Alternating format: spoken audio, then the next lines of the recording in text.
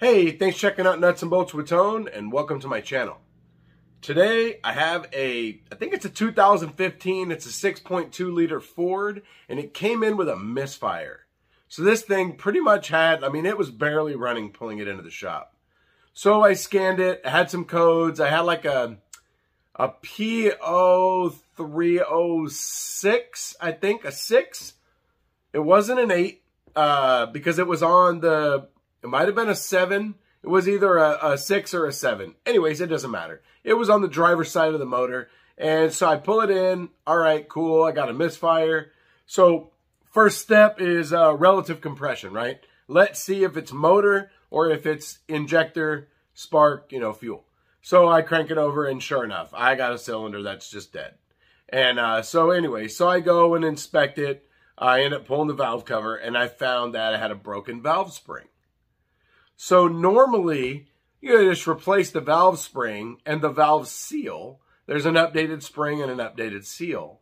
And, um, and you can move on, right? Well, uh, this one here, they drove it for a long time with the broken valve spring. And so the valve was damaged. We tried pulling the valve up and doing the leak down. We couldn't get any sealing at all whatsoever in the cylinder. And so they opted for a, uh, a used motor.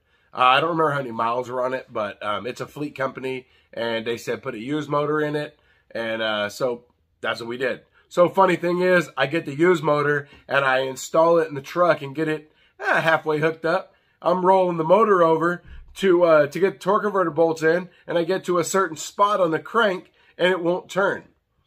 And I have to push it really hard to get past it. I go back around, same spot gets stuck again. I'm like, oh my God, are you kidding me? So then we had to put oil in it. I had to hook up the starter and do all this. And sure enough, crank it over. And you can tell there's a problem. I did a compression test. I found multiple cylinders that were bad. And uh, what sucks is the engine looked really good.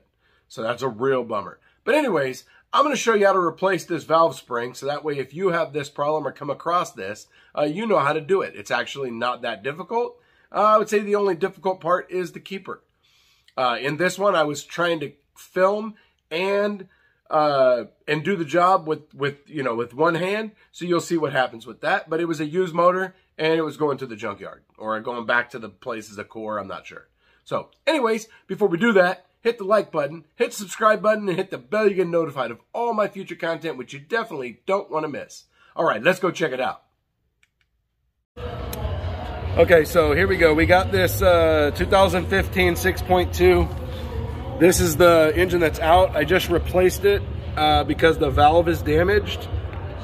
But you see that spring, that, that coil that's sticking out. This has a broken valve spring. I'm gonna show you how to replace that.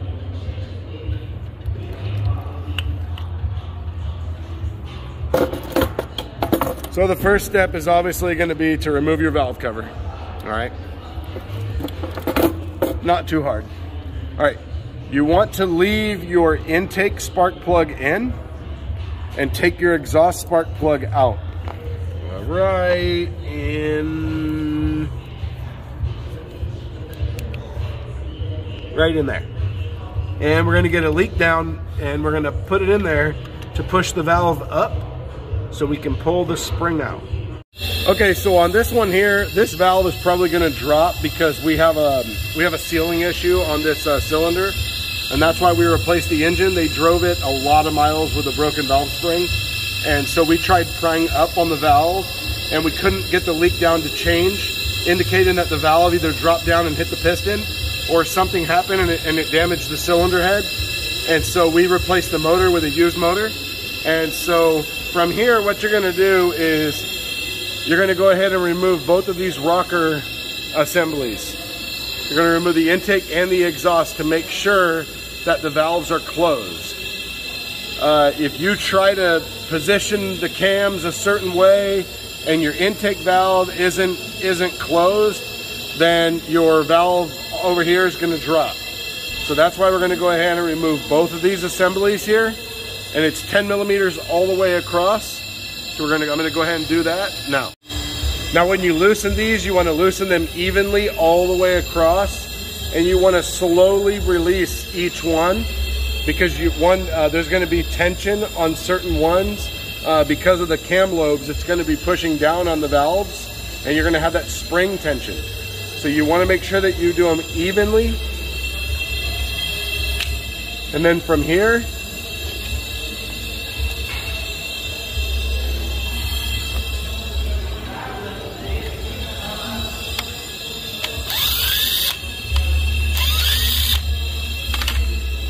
And then from here, it's gonna come off just like that. All right, let me get this off and get this set up to show you how to do the valve spring.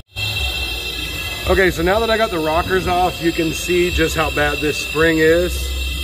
All right, it's broken. So we're gonna go ahead and take this off. There's a lot of different ways to do it. This is what I have right here. This is what, if you look up the service information, uh, um, a valve spring compressor like this is what Ford recommends that you use. So let me set it up. We got to depress the, the, the hat here so we can get the keepers out, which are right there. And then that way we can release it and pull the valve spring out. Let me set it up.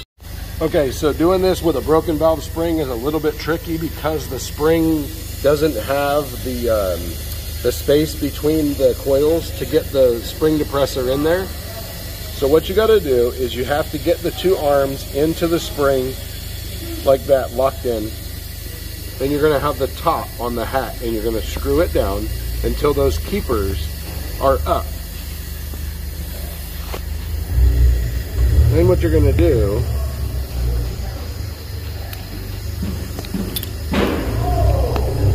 we're going to go ahead and grab the keeper. There's one of them right there. And then now we're gonna try to get this other one.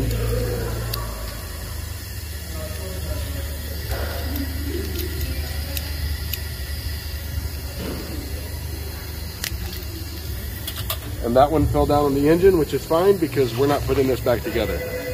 So that's how you do it right there. And then you're gonna unscrew this and go ahead and take your valve off, uh, your spring off. And so here's a good look right here at what the spring looks like.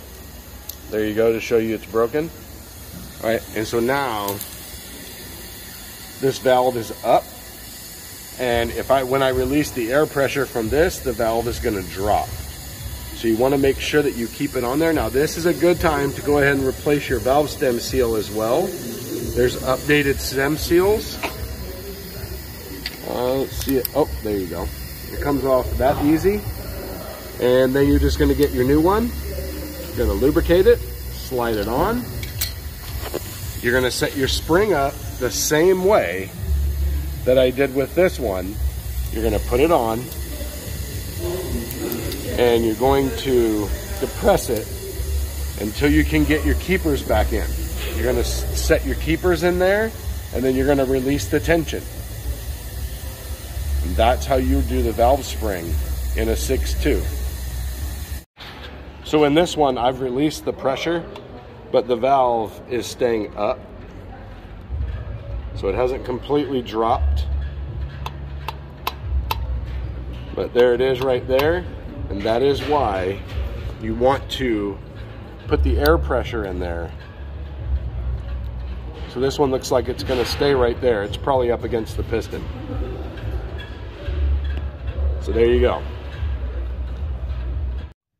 Okay, so as you can see in this one here, I dropped one of the keepers. Uh, normally you wouldn't be doing it with a camera in one hand and a tool in another. Uh, when you do this, you have these two little tiny little little metal things and they're tapered and they're like this and they have a hole in the center and they go down and they have a they have a about right here they have a um, uh, a groove and that's where uh, uh, that's where they that's where the, the the the valve seal the seat the top of the spring the metal thing at the top of the spring that's where it comes up and it rides. Uh, and so they, it holds them in. Uh, but basically all you do is is compress that valve spring and you can take a magnet pocket screwdriver and you grab the keepers and they'll both pull up. Uh, they stick to the valve when you do it uh, because there's oil on it. Um, and you know I'll show you how to you know to do the leak down you want to do a leak down keep it pushed up so anyways, uh, well, I hope this was helpful. if you have this problem, there's multiple different kinds of spring compressors. Uh, I have this one. This is just a universal spring compressor, but there's many other different kinds. Um, and they make some some really some really nice kits that are really easy to use with this motor. But I used what I had and it worked. So hey, there we go. So anyways, I hope you enjoyed the video. Hit the like button, hit the subscribe button, and hit the bell you get notified of all my future content, which you definitely don't want to miss. Also, check me out on Instagram at Nuts and Bolts with Tone for my daily life as a mechanic. See all kinds of cool stuff, see some gas, see some diesel, and see some tools. I mean, you know, if you do this for a living, you want to see the tools. You want to see the tools that I'm showing you because I'm going to show you a lot of tools that are not on the tool truck that you can use and buy for a lot cheaper and get warranted the same way. And in some aspects, probably warranted even faster. So anyways, check them out. So also check out my merchandise store. We can get yourself a t- blah, blah, blah, or you can get a t-shirt, coffee cup, or a water bottle and support the channel. Appreciate you watching the video, and I will see you next time.